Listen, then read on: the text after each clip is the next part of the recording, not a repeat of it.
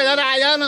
क्या नाम है आपका? मनोज कुमार। मनोज जी आज आपके गाँव में एक अभियान रखा गया है ग्राम प्रधान द्वारा और भी कई लोग यहाँ जुटे हुए हैं। क्या कहना चाहेंगे इस अभियान के बारे में और किस तरीके से शराबबंदी पर लगनी चाहिए कि नहीं लगनी चाहिए? इस शराबबंदी के लिए मैं ये कहना चाहता हूँ कि शराब बंद होनी चाहिए। जो गाँव की महिलाएँ वो परेशान है इससे।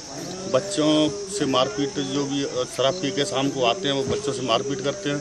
हमारे प्रधान जी का ये सराहनीय कदम है। मैं इसकी सराहना करता हूँ। जी धन्यवाद।